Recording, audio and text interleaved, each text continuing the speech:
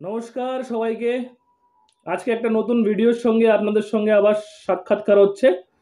তো ভিডিওটা specially UPI সম্বন্ধে ডিটেলসে জানব আমরা।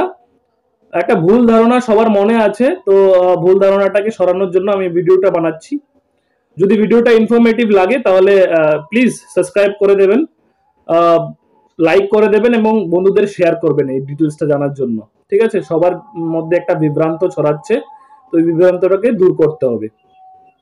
তো বন্ধুরা ইউপিআই ট্রানজেকশন যেমন আগে ছিল সেম এখনও আছে।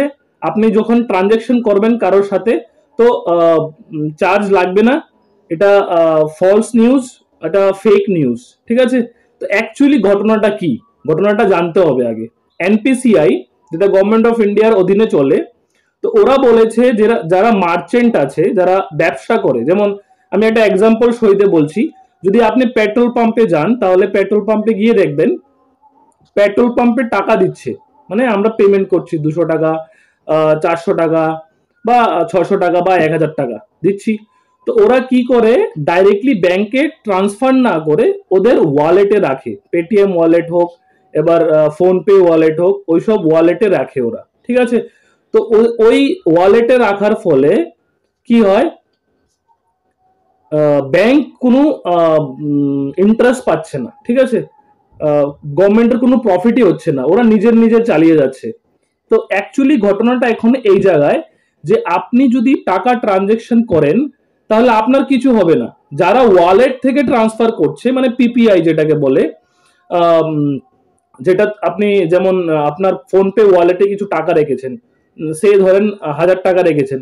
তো ওই হাজার টাকা যদি আপনি কাউকে ট্রান্সফার করেন, তখন আপনাকে চার্জ দিতে হবে। তার আগে নয়। আপনি যদি ডাইরেক্টলি ব্যাংক থেকে স্ক্যান করে টাকা পাঠাচ্ছেন কাউকে, তাহলে টাকা দিতে হবে না। আর যারা ওয়ালেটে রেখে টাকা ট্রান্সফার করবেন, দু হাজার টাকার বেশি, দু হাজার টাকা মাইন্ডে রাখুন, দু হাজার কম হলে চার্জ লাগবে না। দু হাজার টাকার বেশি হলে আপনাকে চার্জ দিতে হবে ওয়ান পয়েন্ট ওয়ান পার্সেন্ট ঠিক আছে? এই কনফিউশনটা ক্লিয়ার করে নিন।